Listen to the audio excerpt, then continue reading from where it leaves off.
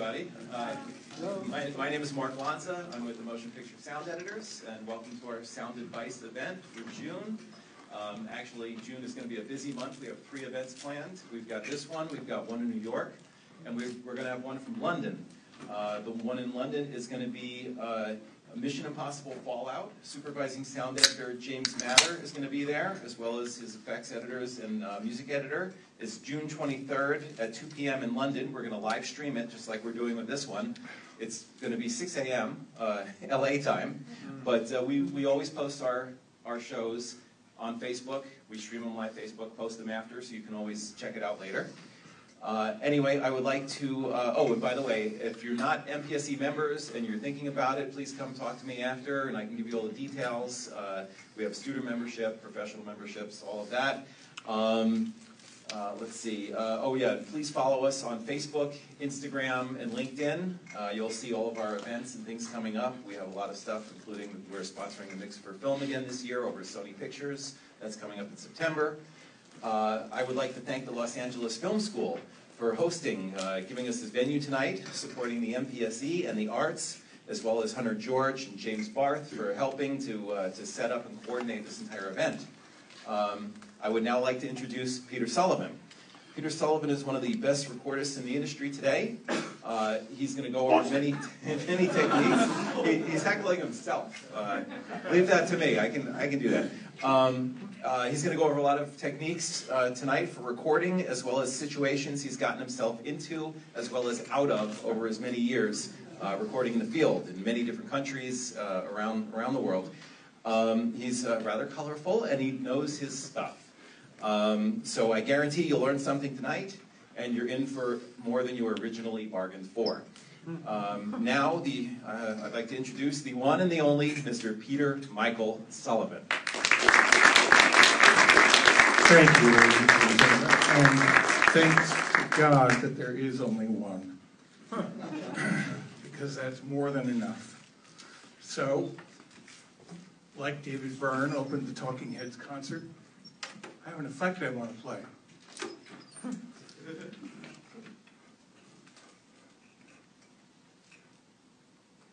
Now we're going for the fast in and stop, and hopefully there won't be any mic movement this time. Hopefully it won't stop right on top of it.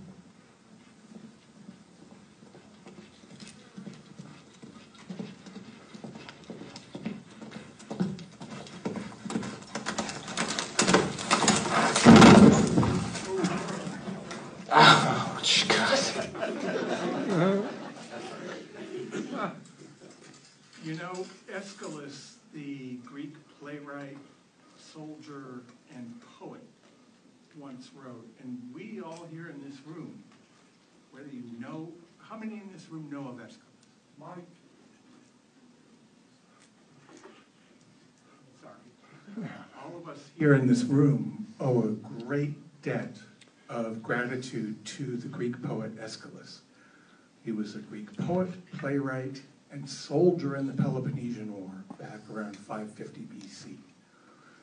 And he was the man who changed Greek theater in that he took the emphasis away from the chorus interacting with the actors. It was basically a chorus-driven art form until Aeschylus said, let's try something different.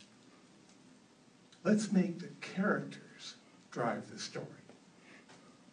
And he gave us the character-driven narrative we have today. And regarding this particular recording, and others that I don't have, because this isn't about a resume of my suffering, but he wrote something very pertinent back around 550 BC. He wrote the following poem. He who learns must suffer, and even in our sleep, pain that cannot forget falls drop by drop upon the heart. When in our own despair and against our will comes wisdom to us by the awful grace of God. This coming from a pagan. So, this was uh, long before any of monotheism really reached into that part of the world. But he was right. And that brings up something I want to talk about, and that is that, especially if you have in mind to go around the world, as I so naively did in 1989 after finishing working on The Abyss, I had never even been to Canada. And I decided, well, what the heck? Let's take six months and circumnavigate the Northern Hemisphere. So I learned many valuable lessons there and got many bruises and injuries. Sunken boat, gun to the head, shot at, teetering on the edge of a roof, dealing with the Muslim Brotherhood, waving a two by four with nails at me. Did I mention the sinking boat? I think I did. And uh, other mishaps that, uh, well, yeah. But one thing I have discovered about going around the world and dealing with people from different cultures, well, first off, is that there's far more we have in common than we have to, that we than our differences, and that's very relieving to see. Like when you're in Namche Bazaar, which is basically the last little village before Everest Base Camp, and you see this woman come up, this old woman come up behind another old woman, and she puts her hands from behind over the woman's eyes and says whatever she says in Sherpa or Tibetan. But it's basically, guess who? And it's like these things are common everywhere. That and a bird species. Can anyone guess what bird you can find anywhere? Any altitude? Vic? Crow. Bingo. They are everywhere. And they always talk at the wrong time. So, for me, this is just my philosophy of recording, and I promise I won't spend too much time on it. We will get to talk about what the subject of the record, of the evening is. I promise. And there will be time for questions, and answer any question you have as truthfully and as completely as I can, and if I don't know, I'll just say I don't know.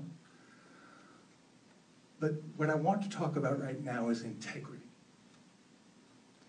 And a lot of people think integrity is synonymous with honesty or being honorable or being forthright. And that's not true. And it's very important as a recording person or artist or however you choose to word it, that you're as aware of your weaknesses and what you need to work on, that as you are of your strengths, and that you commit to working through, and you, you own, you face up to yourself with all honesty to yourself about your shortcomings and own them and work on them. So the base word of integrity is to integrate, right? So to be a person of integrity means to integrate that which you would rather forget about yourself or downplay, along with the sort of stuff you would perhaps boast about or feel confident. And until you bring the two of them together, it's hard to be truly truthful and honest about the work you're doing, the people you'll interact with, everything. Because the way I view field recording is, in a way, truth gathering. We're gathering the sounds of nature or sometimes a mechanical device or a vehicle or what have you. But we want to capture the truth of the thing. And so truth is terribly important. And if you're lying to yourself, you're not doing anyone a service. Furthermore, when you're in a faraway land and you're having to communicate largely through pantomime, you know, you learn a few key phrases wherever you go, but you're, you're trying to get people to understand what you're trying to do to, like up in the Himalayas, people who, it's like headphones, what are those? You mean you actually hear through those? And people can sense when you're full of it or when you're not. And so what I've learned in my travels, which is basically enough to go to the moon and back, is that it's very important to be honest. Now, I'm a Minnesotan, so that's kind of drilled into you from the, from the get-go, as part of the, you know, so-called Protestant work ethic. But it's terribly important out there. If you, if you approach a situation, and I, I could name names, but that wouldn't be cricket. So if you approach a new situation, especially in the foreign land, but even here in Los Angeles, with humility and deference, you're going to get far more than if you barge in and say, well, I'm from, you know, Sky Deluxe Sound, and you owe me to let me go do what I want with your thing. That's going to get you nowhere fast. So these characteristics I'm talking about of being honest, and first and foremost, honest with yourself, and then humble and deferential, meek, dare I even say, will open doors. I promise.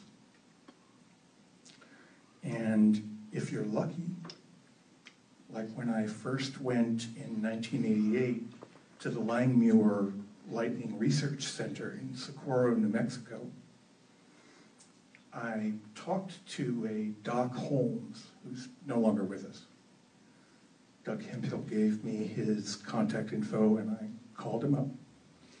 And I went there and he and I met at the offices, which were down in Socorro. The lab was actually up on a mountaintop on a ridge. And he said, well, we're having kind of a dry summer, but you're welcome to go up and hang out with the boys. Meanwhile, the gardener, the meek and humble gardener, overheard the conversation. And I exit their offices and I go to the parking lot to meet my buddy who's got the pickup truck that's going to get us up there. And the gardener says, uh, Can I talk to you for a minute? And I say, Sure. And he says, You know, we never wanted to put the lab where it is. We really wanted to put it on Mount X. I'm not going to divulge the location quite yet. And I mean, if you go to copyright.gov, you'll see my copyrights and the mountain is named. So, you know, if you do your due diligence, you'll know which one it is, but it's still a big mountain. And so I thought that was very interesting. And sure enough, we went to where the gardener said. Because I'll tell you what, I will take the advice of the meek and humble over the intellectually proud any day. Furthermore, once I'm finally done with one more session up there to get more of the really, really close, the danger close, I plan on putting it all together and handing them a free copy along with a sharp rebuke. Stop sending recordists to your bogus location. Send them, have the humility to admit you settled for second best, and send them to the right place. They've been sending recordists for 30 years to the wrong mountain. The mountain I saw, following the gardener's advice, we got to one of the sub-peaks, maybe, I don't know, 750, 1,000 feet below the actual summit. Sort of a, you know, like I said, a sub-peak.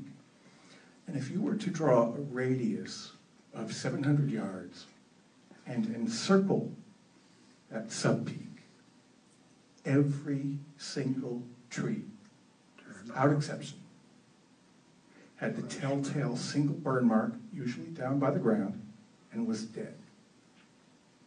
That's lightning. Only lightning does that.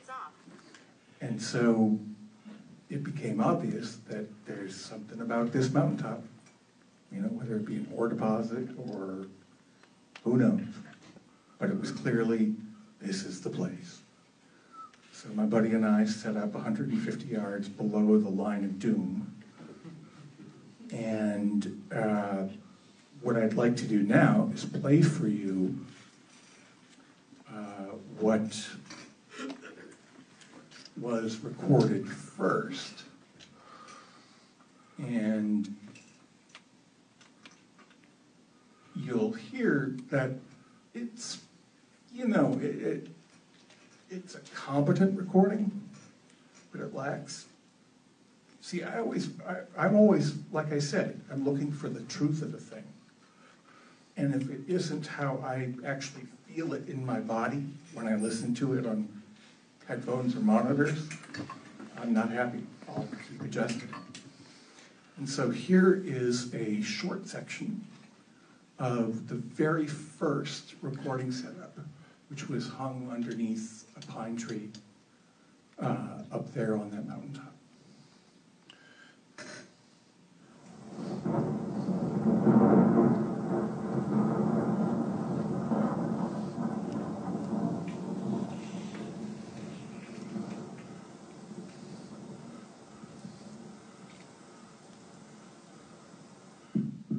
And as, as you can also maybe appreciate, uh, this is what the, what it looks like in RX. And you can see all of this rain up here, right?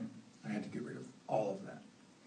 But this recording, I mean, it's a competent recording, you know, but, but it, it's still unacceptable to me. And I could even tell this on headphones. This is back in '88, so the headphones weren't that great. And I was recording with Schoeps MK4s, uh, CMCH, pre, and straight to DAT. So what I did, now I did not move the, I did not move the mics one inch north or one inch south, east or west. And I will play for you what it sounds like, and you can, I think, hear the difference.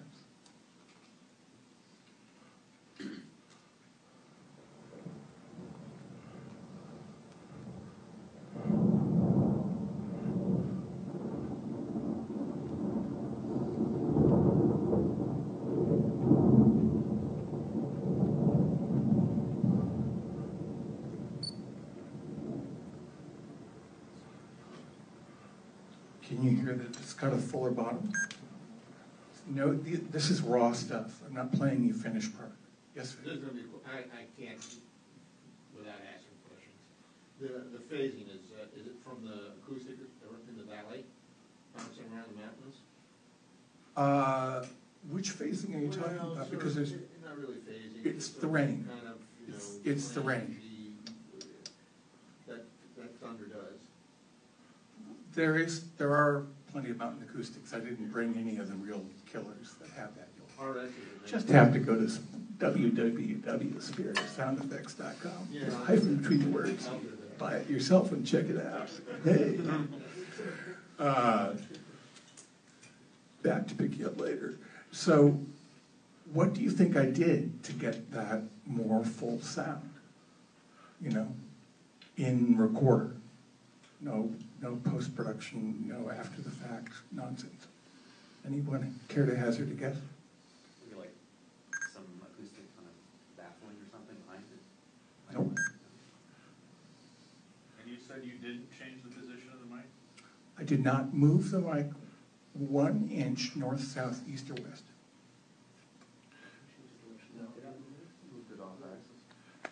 Nope. I lowered it. I put it at head height. I assumed right off the bat that it should be at tripod height, even though I was hanging it from a pine tree. And this was what finally won me over, in that the ground is a boundary layer, like a PZM. Use it. Now, when I do nature stuff, I have no need for a mic stand. If I'm in the jungle Southeast Asia, I will take a very small camera tripod that I can split the legs out and make it very low. And I've got to tell you the difference between just the height. Charles and I are going to be doing some guns later this month. And I fully plan on, and guns is something I've, you know, got some experience recording. And I'm planning on at least starting, I'll have floor stands if I need to elevate them six inches off the ground. But I'm planning on starting by laying two 321s, I'm sorry, 421s. The old kind, not the Mark IIs, they stink. Um, laying them on the ground. Exactly. I, I also recorded fireworks in Bangkok uh, on, which I wish I could have borrowed an example of. Uh, a friend of mine owned a building right on the banks of the Chao River. And you, if you see shots of the river, you'll see a kind of a pale green building with a Coca-Cola billboard on it. That's his building. So it was so awesome to go up to that billboard with two of these, my favorite mic. Now, this isn't a budget mic, I'm afraid, but it is glorious. It's the Bach 195. And as they say, once you go Bach, you never go back. And I hung them about 40 feet apart, just right against the billboard. And wow. So the great, what I'm trying, the point I'm trying to make is to get a great recording. I mean, heck, you can take this, 200 bucks, right here. Five microphones inside. Four channel at 48 kilohertz, two channel 96. And you can get fantastic stuff. I mean, it needs a little EQ work and it needs denoising. I mean, it is a $200 device after all. But, I mean, I grew up with a Nagra, first the 4.2 mono, and then the 4S. With all the batteries, and all the extra batteries, and the tape, and the frequent chiropractor visits because of it, and all that stuff. We didn't have this variety of stuff. And now you have no excuse. And the best bang for the buck, in my personal opinion, is the Zoom H6. And on top here, I have the SSH6, which is the MS stereo short. And while it's not the quiet, quietest mic, it doesn't have the quietest mic pre's in the business. RX makes a lot going anyway. Exactly. But once you get your feet wet with RX, and you know to make two passes instead of one, and generally on the second pass, I touched nothing below 750 hertz. I mean, this is all together what I'm holding in my hands here. This is 500 bucks. I mean, if this were available back in 1988, I would have been all over this. And this will do multi-channel 96K, 24 bit. Six channels. Four XLR TRS ins on the side, and the proprietary connection on top.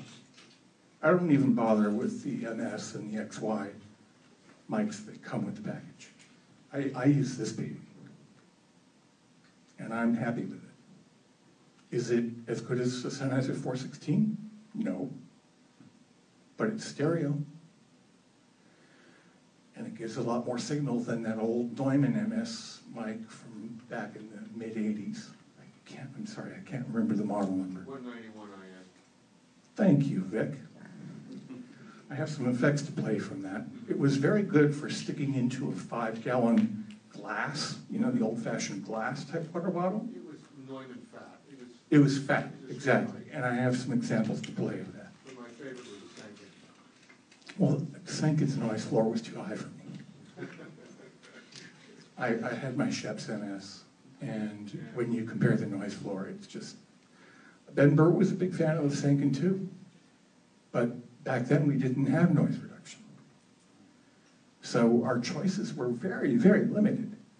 So I decided to stick to, for both convenience and being able to shape the width down the road however I wanted, I stuck with a pair of Schoeps in an MS configuration, which meant one Zeppelin, not two. And it was a 416 Zeppelin that I could put my 416 into. And that 416 could take anything. But when we were recording on multiple uh, military bases for Air Force One, I mean, I lost count, truly. Uh, I was fortunate enough to see an F-18 in chocks in full afterburner steady. I could count five plasma rings trailing behind it. I got as close as I could until it became physically painful. And I lowered my physical profile by kneeling, and I put the 416 on it. No problem. I mean, this was well over 120 dB. Well over. I mean, I could, I could feel it. I mean, it was, it was uncomfortable. But it caught it. So, call me old school, but when you've got that, and then you've got the boutique mic, you've got the, now, I mean, I don't have a Schoeps MS setup right now.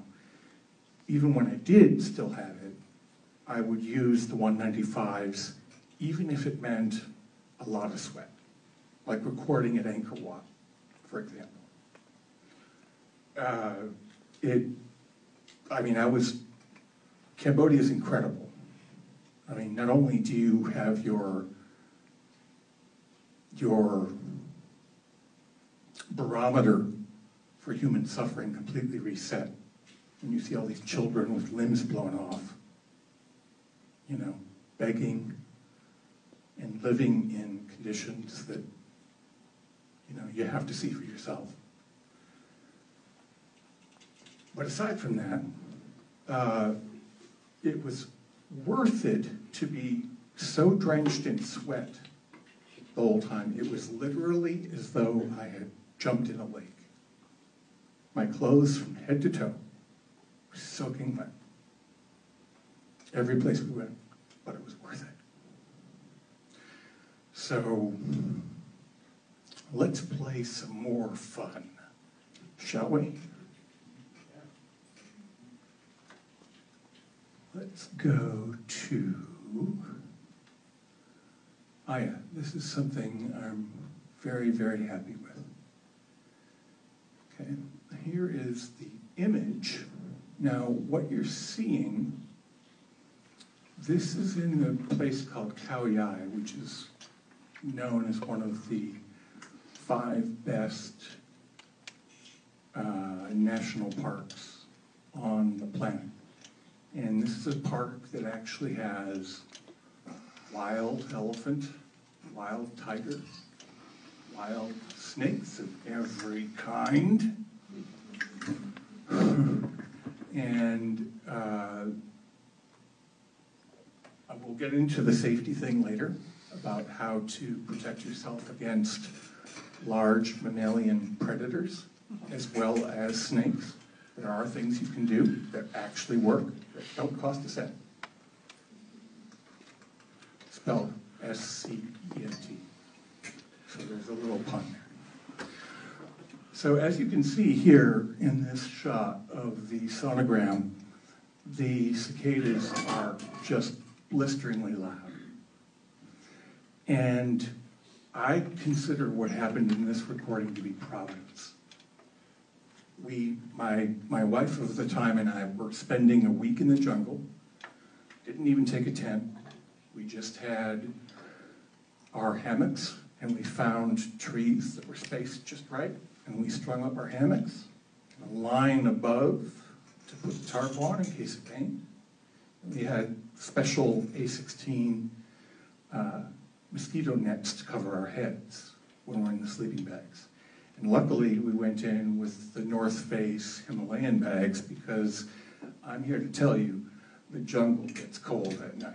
and it, it's very humid, so you, you really, the cold is, is, is palpable. So one morning, I get up and I kind of go off on my own. My wife is back at the camp, just kind of hanging out. And this is where I'd like to highlight that it's important to watch and be open to cues.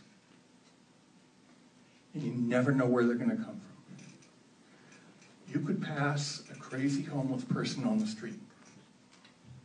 And just as you're passing, he might be saying something. And it might, I mean, it's, it's incredible how often this happens to me. I'll hear something and it'll give me an idea and I'll go, aha. Now here in the jungle, I didn't have any talking snakes or anything like that, but I did come across the strangest tree. Now, I used to study Egyptology when I was a kid, and I knew what my name, Peter, means rock. Right? It comes from the Greek Petrus. And in Egyptian, it's Ben, and it is written like this in hieroglyphs. That's it. And I found a tree, and it was about, let's say, 10 feet, and it was a strong tree. It wasn't some kind of withered thing. So I string up my hammock,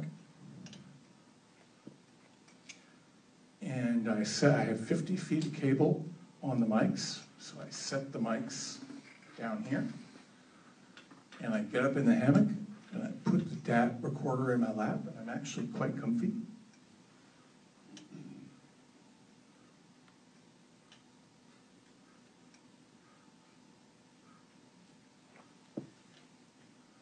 And so I, I generous the hair. yeah, well, you know. Um, so I, I took that as a cue. And so what you see here is something incredible. You see the cicadas being really obnoxious. And by that I mean like this.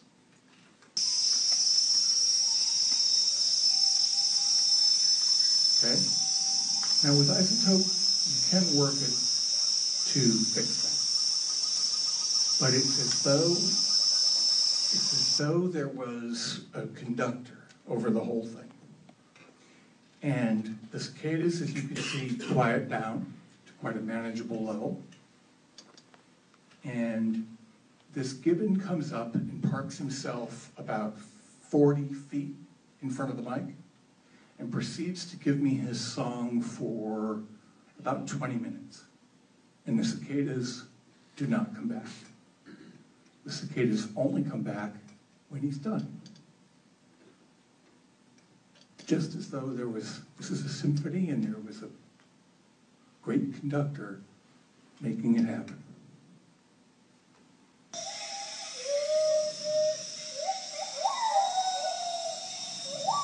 We'll go further in. This, this gibbon would make Ornette Coleman weep. Shuts. Low breath.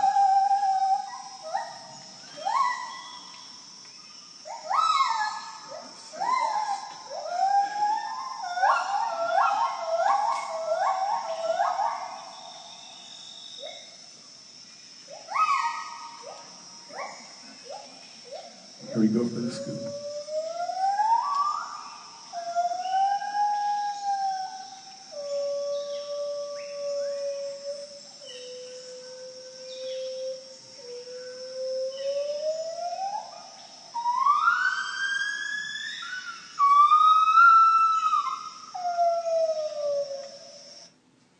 Take that, Ornette. I mean, don't, don't applaud me, applaud, applaud him. Like, He came up and gave this whole, Keep the Schoeps from not shutting down in moisture. ah, did I bring that? I hope I did. But those mics are beautiful, but they don't like wet. Yeah, and in eighty-nine, when I first went into the jungle, I did have a panicked moment. I mean, not panicked, I'm not wired for panic. But I, I had a moment of great concern because, just as you stated, when I turned the mics on, all I heard was the equivalent of shortwave radio hash.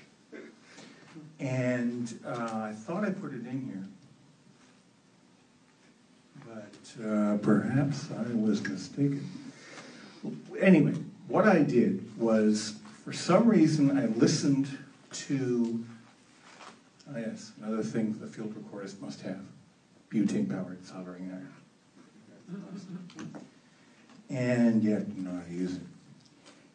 So, what I had, luckily, the foresight, or I had an intuition, to bring with me the not silica flakes, those are pretty worthless. But I brought the photographic kind, the beads, the circular beads that are bonded with cobalt chloride. And so I go into our first aid kit and I take some gauze and I wrap it around two fingers. I sew one end shut. Sewing stuff too. You have to be able to take care of everything when you're in the really remote. And I put in some of these blue beads, and I brought a lot. At first, I put in too much, and I couldn't quite fit them between the microphones the way I wanted, so I took a little bit out, and then sewed it shut. And if I pinched the middle, fit beautifully between the two and I placed it behind the capsule, and learned that that will locally dehumidify inside the Zeppelin between four and eight hours. You're crazier than I am. And, well, again, intuition, folks. I'm going to keep hammering away on intuition. Listen to your intuition. Intellect is highly overrated. It really, really is. Listening to your intuition and being a good person, an honest person, is far more important. And so I call this, and I don't mean to be offensive to any women here, but it does make sense. So please bear with me. I call it the microphone tampon. Because when it starts out, it's a bright, vibrant blue, and it proceeds to clear, to pink, to red. And when it's red, it's reached maximum absorbance. And so when it's red, you know it's time to change it. So the name was born. Had you experimented with that before? Nope. It was just a hunch. Again, listen to the intuition. I knew when I was getting ready for the trip that might come in handy. Because I knew I was going to humid places. And I grew up in a humid place. So I, you know, I've, I've played that, I've danced that, to that tune before. So It's a great recording. Later, my wife made out of mosquito netting a pouch, of the same dimensions, with a snap and a lid, just a hanging, you know, just, it's almost, it just, it's mosquito netting, thread, and one snap. You just staple into place like with a little grommet handheld thing. And that works. So I know people say, but yeah, the Sennheisers work great great in humidity, but you know what? They don't sound like Schoeps. And, you know, you just take, you just, see, What are, what are our sound recordists, this is open to anybody who cares to answer. What are our two most important skills in your estimation? Listening. And then I'll give you my opinion. Listening, number one, very good. Anyone care to guess on number two? Yes. Real close. Take that, I'll, you know what, I'll give it to you. Resourcefulness. Because you're, there's no way to plan ahead for what's going to happen. You never know. And you know what? Mr. Murphy is always along for the ride. Hence, hence, having your soldering iron. So how many people in this room consider themselves field recordists? Okay, please keep your hand up if you can solder and solder well. Oh, we have fewer field recordists. Because if you can't fix it when you're in the middle of nowhere, you're no longer a recordist. You're the nurser of a dead machine. Or recording in mono. So things happen, and you have to be able to flow with it. And sometimes really nasty things happen. And my friend Jerome, who I took was the smartest thing I ever did. I took along. I, I remember going back to Minnesota, and the guy who was going to go with me originally backed out at the last minute. And so I looked over to Jerome and I said, "If I pay you five grand and pay your way, will you take a six-month trip around the world with me?" Didn't even blink. He said, "Absolutely." Smartest move I ever made man, going it alone would have been not so smart. And we're in Egypt, again in this village. It seems like all this pain centered around this village called Abu Sir, which now is a suburb of Cairo. It's no longer a two donkey town. You know, but back in 89, it was a two donkey town with one motor, four horse, four horsepower pump that they used between fields for irrigation. That was it for, for technology. So one morning, and, and the reason I sounded uh, on that very first thing I played, my, my speech was a little slurred because I had come down with tonsillitis in Thailand before that. So I was running 104 fever at the time. But too bad. It was still up every morning at 3:30, no matter what. So luckily, I have my inner drill sergeant, and he makes a guy in full metal jacket look like a wimp. Because he's like, "Oh, you're sick. Too bad. Get up." And so, so we get up. It's about 3:34 in the morning, and we're walking across the graveyard. We are we've lost our mini mags by this point. Of course, the Egyptian flashlights we bought worked for maybe 10 minutes, and then they no longer worked. So it's a moonless night, only starlight, and we're just bumping into everything on the way to get to this bluff overlooking the village so I can record the transition from night to morning. That was the objective.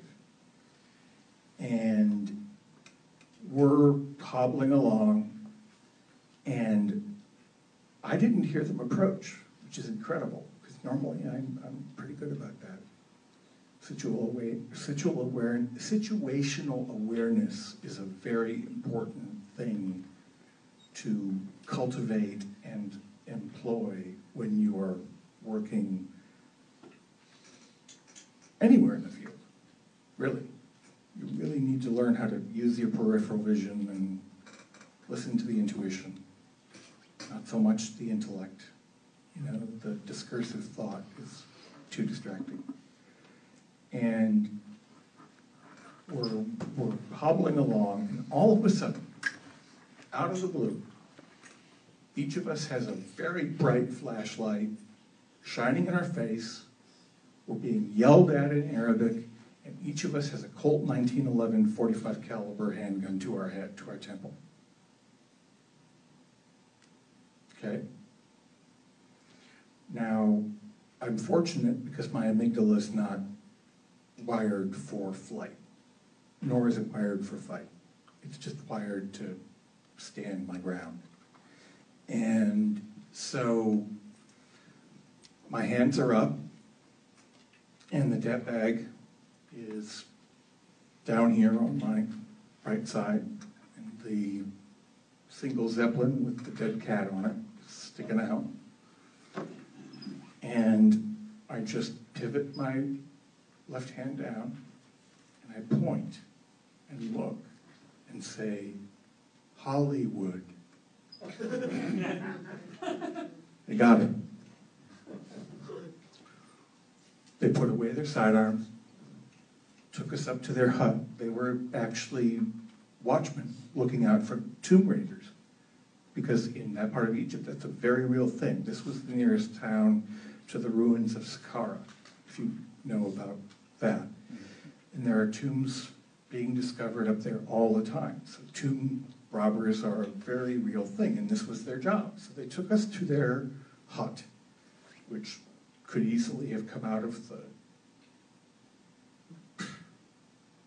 first century BC.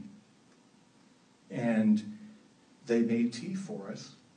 So I set up the recording rig about 200 yards away, comfortably far enough to not pick up muffled conversation, and just let it rip with a two hour DAT. So they made tea in the Sahara for us as the sun rise, as the sun rose. And it turned out they were the only two Egyptians we had close interaction with that did not ask for bakshish. Moral of the story is someone may have a gun to your head one minute, but if you play your cards right, they could be your next buddy. And I'm here to tell you it's true. Now, the Muslim Brotherhood, that's another story. But, um, and maybe we don't have time for that. So, uh, what I'd like to do is because there's uh, a point I really want to make that I think is very, very important. And it involves playing couple of scenes from the movie What Dreams May Come. You might think, what does this have to do with field recording? I'd say everything. So, the first scene I'm going to play for you, I would ask for you to listen for the sound that most disturbs you.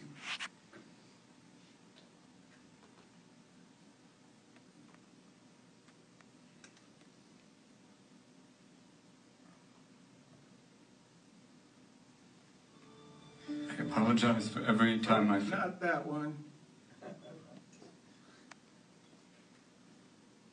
We're in the wrong order here.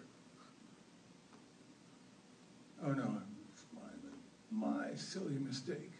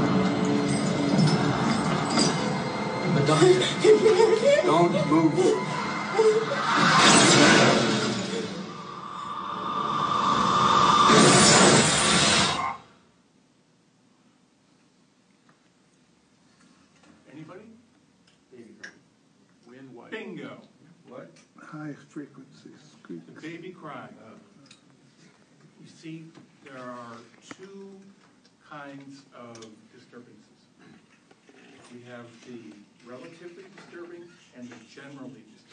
And Steven Spielberg is a complete whore when it comes to it. For example, let's say you're showing a photography exhibit, exhibit in Omaha, Nebraska. Might be. Oh. Okay, The relatively disturbing versus the generally disturbing. Steven Spielberg is, he uses this in every single film, without fail. Let's say you have a photo exhibit in Omaha, Nebraska, and you put up, someone, the photographer decides to put up a photo of cow entrails hammered against the wall. Now, some people might find that disturbing, but just what happens in Nebraska, you've got a lot of people who work in the meatpacking business. To them, that's just part of work, that's just part of life. We're kind of removed from that, we get our stuff shrink wrapped. But when it comes to, bless you, when it comes to children in distress, everybody gets it on a gut level. And Spielberg, if you think to Schindler's List, with the one bit of color used in the entire film, just to make sure you didn't miss it, he put that pink jacket on the little girl. You want to engage your audience? Put kids in danger.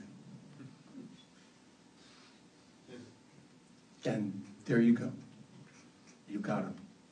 So, recording, get those babies crying and use them because they speak to people on a subconscious, deep heart level. Well, I don't know if it's so subconscious.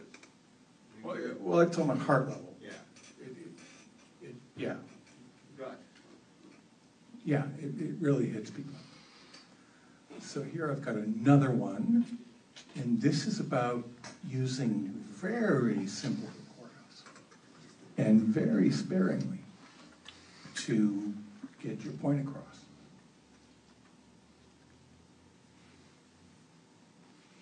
I recorded my assistant, Carrie Carmine, who went on to become a notable sound designer in her own right, because she sounded a lot like Annabella Sciorra, who was the female lead, who ends up committing suicide and going to hell, and it's, it's a redemption story. So here we have Carrie blending with Annabella, and hopefully seamlessly because it's too late to change it. It's completely new. The canvas was blank when I was alive. How can I see this drawing after I'm dead? For an expert, you look pretty And the given surprised. crying is in here. You and Annie a long courtship? No, actually. From the very first moment, it was like Soulmate. It's extremely rare, but it exists. Sort of like twin souls tuned into each other. Apparently, even in death. You're reaching each other through her painting. It's, it's nothing I've ever seen, Chris. You can't see it, can you? And you never will.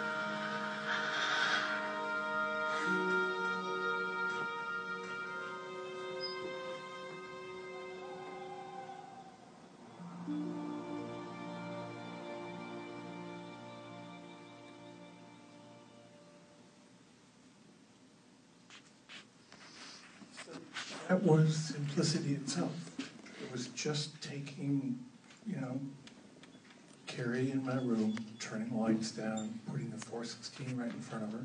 It could have been any mic, it could have been even the cheap stuff here. And just gently coaching her through various tragic thoughts, pictures, feelings, getting that down. And then just doing the preverb thing by reversing it, adding reverb, flipping back. And then when we get to hell, we get maybe the only original sound effect I've ever made. And that is what I call my side-buys, where, again, it was flip it, add reverb to the head, flip it again, so it's preverb now, add reverb to the tail, then Doppler the whole thing for the large space to talk to to address her suffering because that's what the scene is about.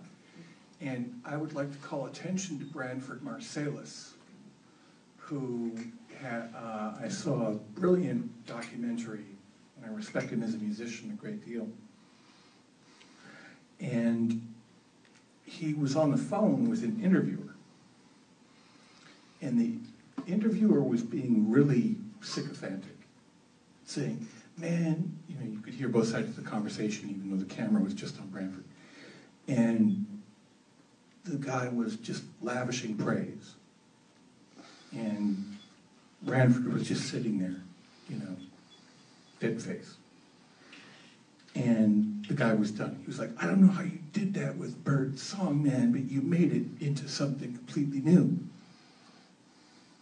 And Branford finally had enough, and he said, That's bullcrap. The song tells me what's available.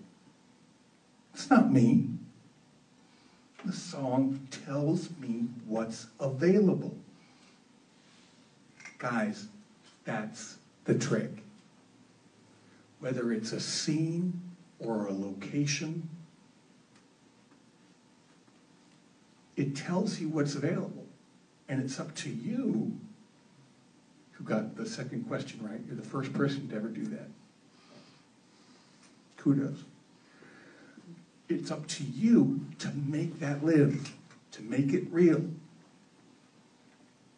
When Peter Brown and I went up to the top of the very tippy top of the mountain, and we, it didn't look like it did it, back in '88, and it turns out it's because we took the wrong road. And I saw that the grade going down from the top of the mountain was pretty steep. And I was thinking, all right, what am I going to do about this? I mean, it's too steep to put a floor stand on. So, this is why you never travel without your Glock.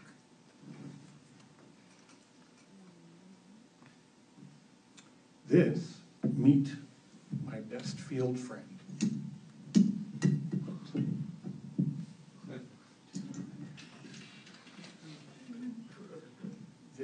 This, is the Glock infantry shovel.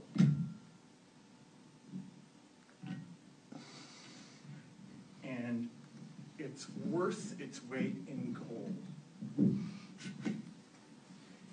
And aside from being a shovel, aside from being a shovel, it is also, which is really handy if you need to, like, if you haven't done the rain diffusion thing first, like a smart person, you've got yourself a saw. And this whole thing probably weighs, I don't know, three pounds, if that. And as you can see, it's quite beat up, but it's still sharp on the blade. And it has saved my butt so many times. So I knew that to make the best of the steep grade, what I could do is cut horizontally in and dig out little coves to set the mics in. And then for the rain, this is where we give a tip of the hat to Martin Lopez, if any of you know him. You take this, believe it or not, is a fully collapsed,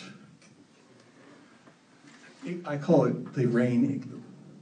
And this is a dome. You can bend chicken wire into any shape you want. And I, what I'm holding here in my hands is very light, and it's about 75 cents. If that. Probably more like 50. And then we have nylon batting, one inch thick. And you circle the igloo with two inches, so twice around. No ray is going to hit the mics. And if it's too splotchy on the ground near you, you go with plenty and you lay it around in a skirt. You don't hear it. It's gone. Very lightweight. Total bill of materials, buck fifty. Now, when you buy this in bulk, it's gonna, you know, it's a buck a foot for a ten-foot wide section. So it's a bargain. And then you've got your contact mics. I had it in my mind to, with the close lightning, to put these into trees so that I would get that kind of piano resonance from the trees reacting with the lightning. Thunder, when I was up last summer, wasn't close enough. But I did get some really awesome tree beetle munching. But see this Neutrik connector? You can buy 20 of these pickups for half the cost of this connector. 20 of them, pre-wired on, on the pickup end. So all you have to do is solder the three in the XLR. Seven bucks for 20. So now we will go to hell.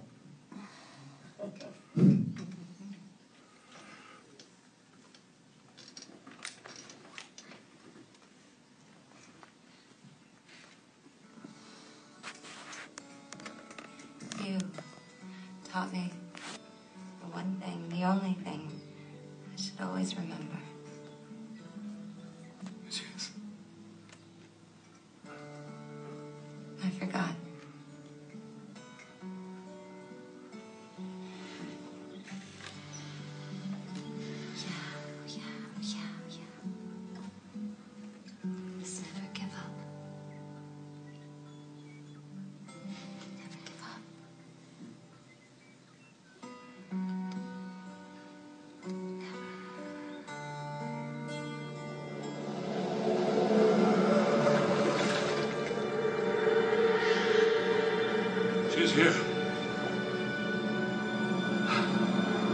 Found her.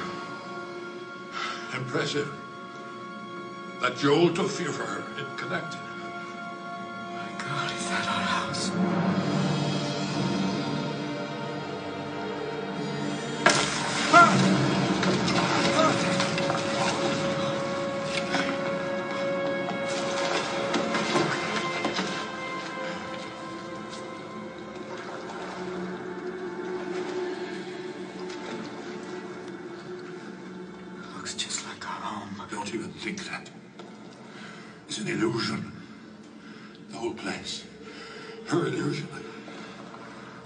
Can get pretty tortured, pretty committed to punishing themselves. Okay, I'm gonna stop it there.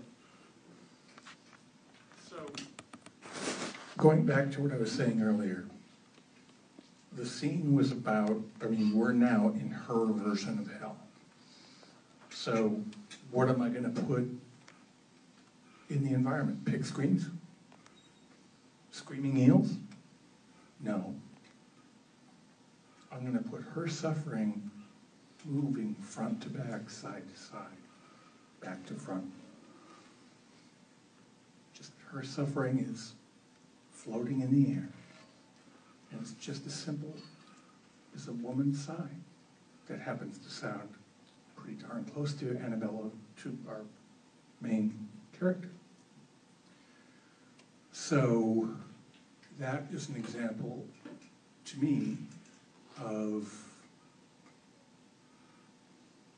I mean, again, if you, if you listen carefully, it's just one thing at a time. It's extremely simple.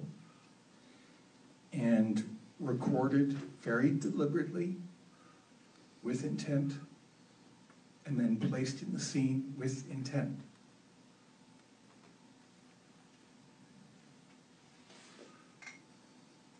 To serve the narrative by listening to the scene in a very deep, heartfelt way so that you can sense what's available to you in any given scene. I apologize for every time I failed you, especially this one.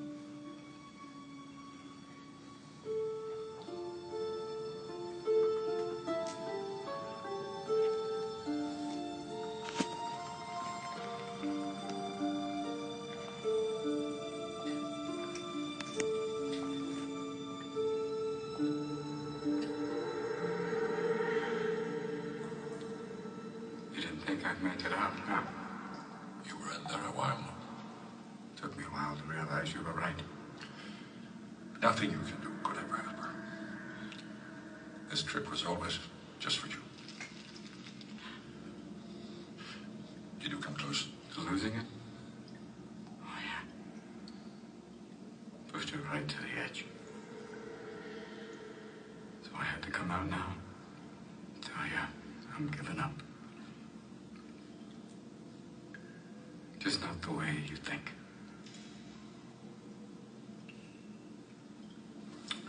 Go home, Al. You tell my children I love them. And I won't leave their mother.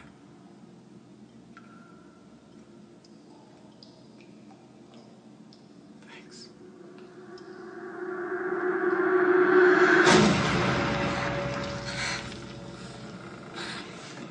Where are we headed, babe?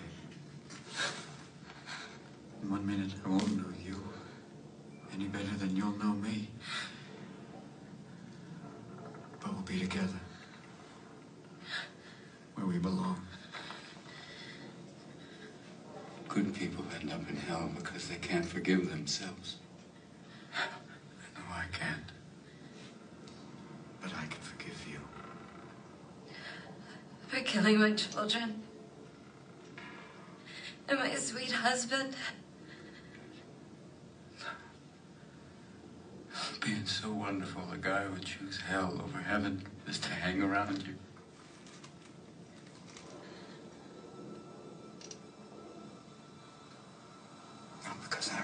You. Because I couldn't join you. So I left you alone.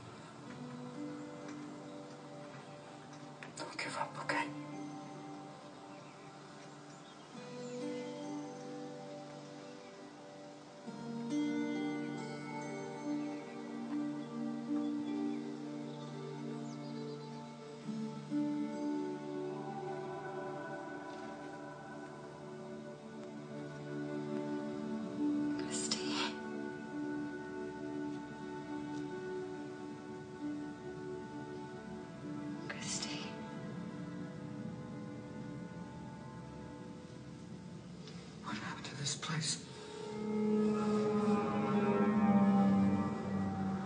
It's cold.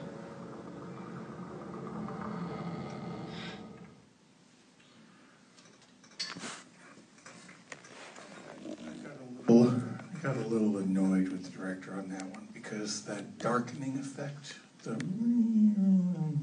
that was just simple dry ice cue, and I just took my entire forearm and just boom all at once on the sampler keyboard. And that means, of course, the lower pitched ones will end the thing. So I wanted it to be felt more than heard. The director really liked it, and so he cranked it up. I, for one, like my stuff played quietly. And as you could hear in that, there was, as far as sound, it was kind of scary in a way because everything is exposed. There's nothing that's buried by a Hans Zimmer score or by thick backgrounds. It's like everything is playing one thing at a time, pretty much exposed. And that can be nerve wracking. So I had more to play, but this has taken more time, and so I would be remiss if I didn't open the floor to questions, and I'll do my best to answer.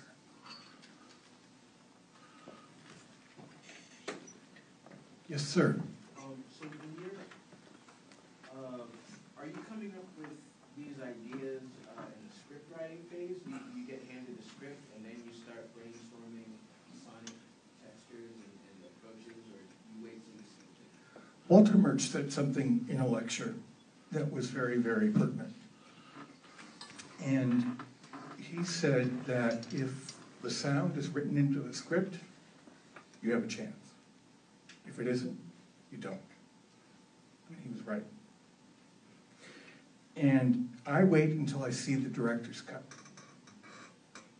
And then I, again, I call it deep listening, because I'm not just listening with my intellect, I'm not just listening with, I'm listening with my heart, my intuition, the gut, whatever you want to call it, my spirit. I'm listening to it on all these levels. And if you think the heart has nothing to do with the mind, science is getting close to making the connection. And the Thai has had it right for the last 2,000 years. I speak Thai. And it's like almost every other word is jai. Jai is heart in Thai. Everything is jai this, jai that, jai, jai, jai, jai, jai. There are thousands of phrases that contain the word jai. Go to a Thai restaurant, and listen to how many times you hear jai. It's insane. So I remember reading this report of a woman who got a heart transplant from this man who died. And in the ICU, the first thing she says on coming to is, I want a beer. And then she checked herself and went, But I don't drink. What's going on? Well, she only learned after being released from the hospital when she did her due diligence to express gratitude to the family of the donor of the heart that's now beating in her chest. She learned that he was a very big lover of beer. So just because science can't yet, see, I'm a physics nut. And the great thing I understand about science that doesn't conflict with theology or matters of metaphysics is science is always on a path of learning. There is no last word in science unless you're talking about the laws of thermodynamics. That, those are pretty hard and fast. But the connection between the heart and the mind, I didn't say brain, I said mind, exists. And you need to exploit that. You need to be sensitive to that. I mean, you know when you're in the presence with someone who's got a big heart. You can feel it, right? Well, develop that if you're not already there. Yes, sir. It's pretty rare that you get the opportunity to look at it, get it from the front end. We're usually serving a picture after it's all, it's been shot and done. True or false, would you say? Of course. And I have no problem with that because one thing we have to remember, okay? I'm going to start with this statement. If you got into sound for personal glory, you really screwed up. Okay? We are secondary artists. We exist to support someone else's vision. There's one director that I worked with in Thailand. He's a British man, lovely guy. And he actually wants to make a movie that starts with the soundtrack first. We'll see if that ever happens. But otherwise, we serve someone else's vision. And it's important to remember that. You've got lots of sound designers out there who like to make things cool and make them go back in the surrounds and, you know, it's kind of like this. And the thing is, you know what I'm talking about, I think. And that's not where it's at. It's not about you. It's not about you. It's about that. Now, the Mac desktop, I mean, the, you know, the stuff inside the proscenium. And the guy who's directing it and what their vision is. And with What Dreams May Come, when I was given the rough cut, it was incredible. It was like the best design opportunity I had ever seen, beyond a Star Wars film. Unfortunately, it got pummeled into a Hallmark card by a collection of nine producers. What I saw at first was insanely brilliant, and it got neutered. Any other questions? Yes, Frank? Have you ever uh, found yourself working on a film, this may be related to what you just said, a film where you all of a sudden realize that the people who made the film didn't really understand what it was about? No, I don't think I've encountered that. I mean, these people, you know, the people who make films, they're living it for five years generally. Maybe three if they're doing a rush job. Pretty, no, in my experience, these people know it backwards and forwards. They have, now, I have encountered directors who have a terrible time communi- communicating what it is they want. I mean, we've all heard the, can you make it more green or purple? You know, there, there is that. But then you have to try and explore that. You know, do you mean it should be brighter? Or do you want it to be softer? So you don't roll your eyes and go, that's, you know, sound doesn't have color. Well, yes, it does. And it's up to you to get into their head and support them. We are secondary artists. Our job is to support the primary artist. And if you're not happy with that, find another line of work. Yes, sir, you had a question back there. Probably the last one, because the staff is getting kind of, yes, sir. Uh, Yeah, I wondered if you could talk about your equipment a little bit, and for those of us on a very small budget with our kits, what you recommend, was you talked about the H six, and also I think it was the um, Zoom short shotgun? Yep. That's your ideal budget? Absolutely, without a doubt. That is the best five hundred dollars spent. I've, I have a close relationship with Samuel Green because I was part of bringing this into being, the Zoom F6 floating point field recorder. It's the pre-production model. And mine. And um, I've told him that 149 for that mic is, is ridiculous. People would pay twice that. But Zoom keeps it low. I mean, Zoom, I wish Zoom had come along 20 years earlier. Because they have really changed the game. And they are so dedicated to making their mic pre's quieter, to being the first manufacturer of a recorder on earth to make a floating point recorder, which is a very big deal. Does everybody here understand floating point? And I'm not talking about headroom. Well, floating point is exactly what it says, right? You've got your, you've got your digits.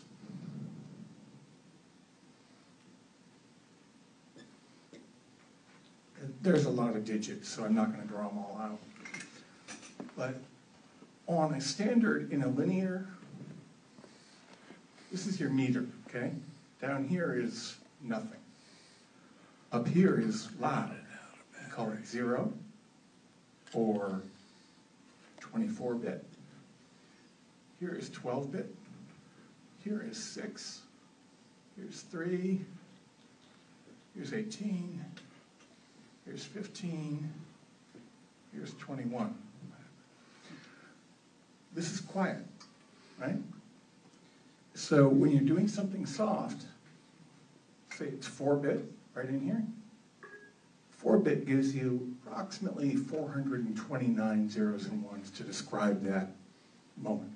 That's how big the word is. Okay? When something is loud, you get to the order of four and a half million zeros and ones to describe it. But you gotta be all the way up here. I mean, if you want a really brutal view, I just so happen to have a brutal view.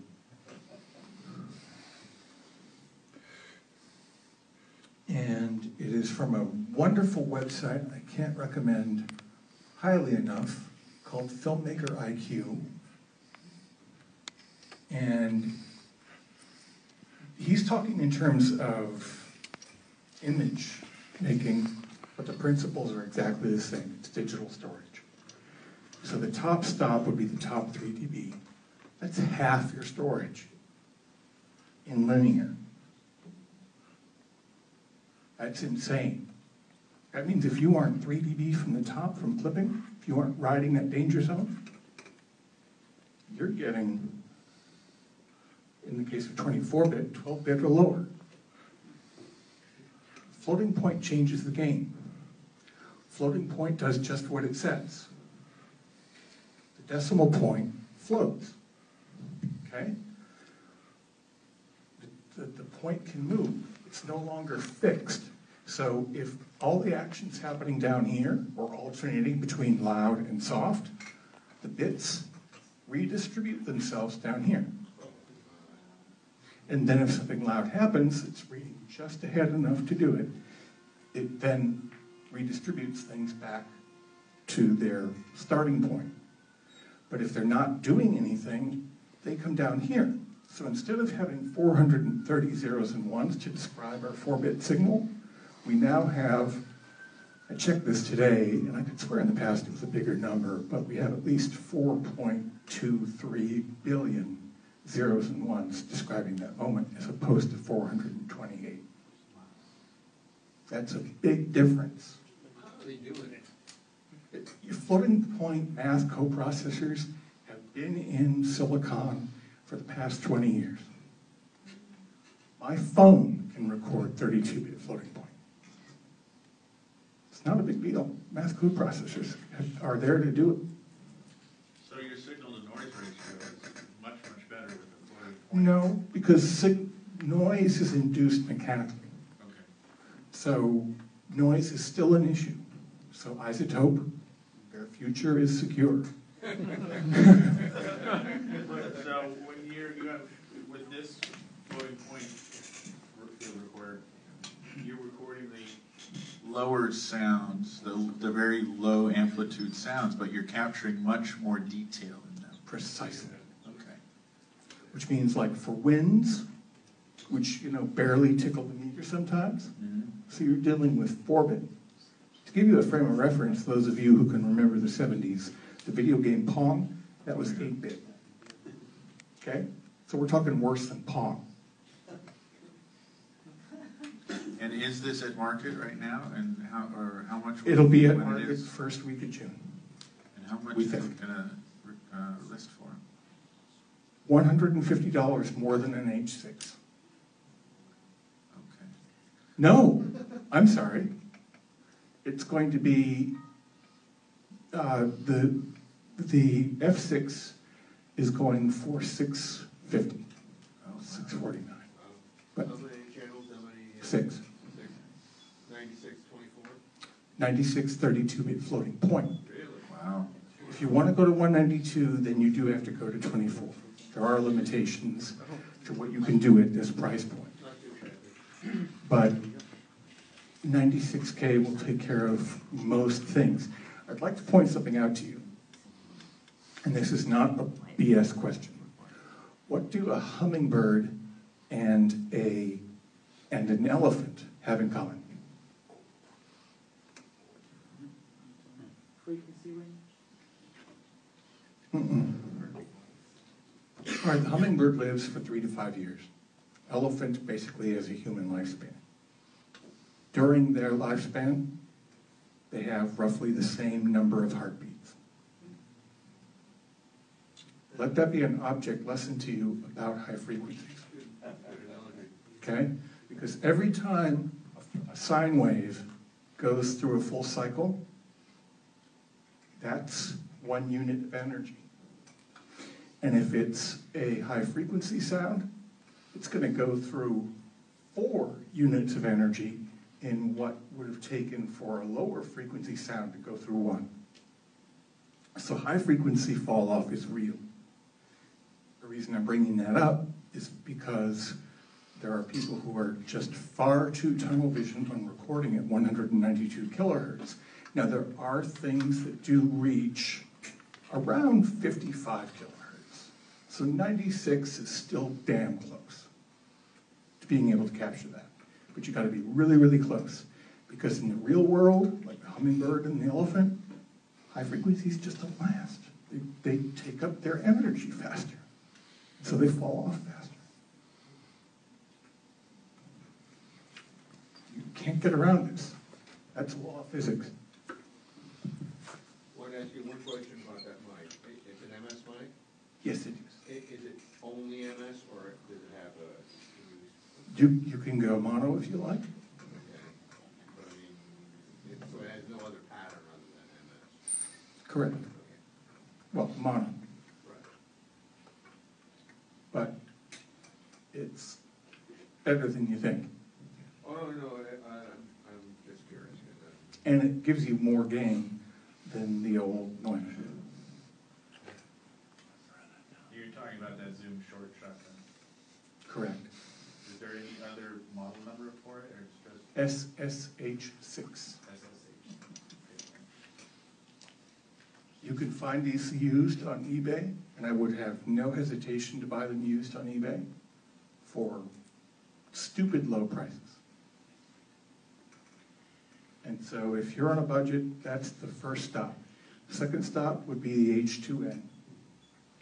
Now, if you do a search for H2N ambisonics, you're gonna find all kinds of geeks out there that have made decoding plugins for recording with the Zoom in four-channel mode, where with the front you're recording MS, and with the rear you're recording ORTF or XY. And they've made decoders to give you a full ambisonic oh, spread. Oh, really? Yes, there's a, com- there's a whole community out there for doing that, for that one device. Oddly enough, Zoom isn't providing diddly, but there are plenty of people who are. That's pretty slick. Zoom, ha- Zoom has a VR recorder out. They do, but it's, it's one unit. Yeah. So you can't put the mic somewhere else and then be comfortably far away so you can breathe. Right. They do have a Bluetooth thing.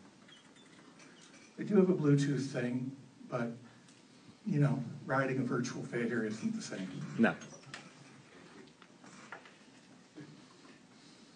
Um, I'd like to ask you if uh, you were to teach uh, a number of students that have never heard about uh, sound before in their lives, and uh, you, would, you had to explain what you do and why it's important for the filmmaking process, what would you say? We support the story on a subtle, if not subconscious level. Now, everybody talks about music. You know, the argument used to be, and Doug Hemphill had a great response by this, you don't hear kids walking out of the theater humming sound effects. Doug's response was, really? You ever, you ever seen Star Wars? You got plenty of kids coming out going, pew, pew. right? Furthermore, to address the subconscious thing, I'll make this quick, um, if you, whenever our good guys are blasting off in the Falcon, it's always in a hurry, and they're, again, they're, they're trying to get away from the bad guys, and it's, they've, it's got a, the ship has to project power. So what animal in the wild would make you undeniably think of strength, mastery, kingship? Bingo. It's nothing but a perfectly looped lion's roar. Meanwhile, okay, so your conscious mind is watching the visual, it's caught up with the plot, it's listening to the dialogue, it's, it's, it's occupied. The subconscious mind can handle many orders of magnitude more information. And your subconscious mind is going to hear that lion and react. It's programmed into you. That's been genius. He knows deeply how, like when in Return of the Jedi, Luke defeats the Rancor by making the door come down on its head. And the jailer, the keeper of that monster, starts crying. And Ben wanted to make, or as he's told me, he wanted to make the audience feel a sense of pathos with the creature. So if you watch the film, there's no pitch shifting, no reverb, nothing. When that creature, the rancor, does its death sigh, it's just his pet collie whining for food. Hmm. Which plays at your heartstrings.